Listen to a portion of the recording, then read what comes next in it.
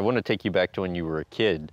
Uh, you had pretty severe asthma, I think, from five to 10 years old. How, how bad did it get? Yeah, it was pretty bad. It was, um, you know, my first experiences with going to the hospital, struggling, um, and feeling like I was a fragile child.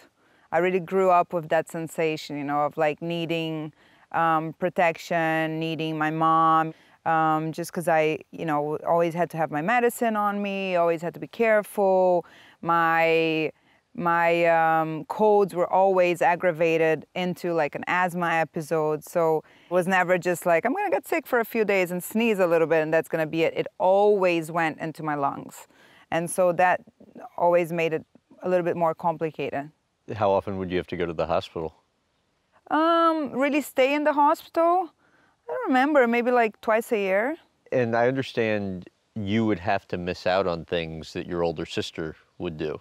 Yeah, I had less freedom. You know, I, it was harder to just send me to like camps and like to go stay with children. Like my sister used to travel a lot and to like um, summer camp and stuff like that. And I just, you know, because of my asthma, I, I, didn't really have that freedom for a while. So your dad gave you your first surfboard, I believe. How true is it that it took you a month before you could stand up on yeah, it? Yeah, it's very true. I was terrible at uh, surfing. Um, I had the tendency of popping up with my knee, which I still do to this day. And in surf school, I was like always kind of the worst. but I instantly fell in love with the sport. And I think the fact that it was so hard for me made it more engaging and more challenging. So that was part of the fun for me as well. Yeah. And, and so, yeah, I just kept trying.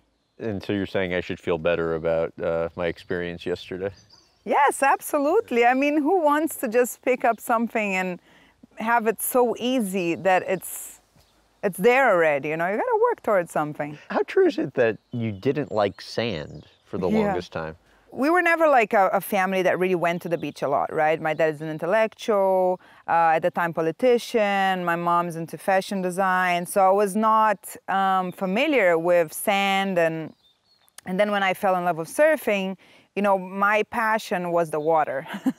and so like this connection with just hanging out on the beach was never something that clicked for me. And you didn't swim for a long period of yeah. time too, right?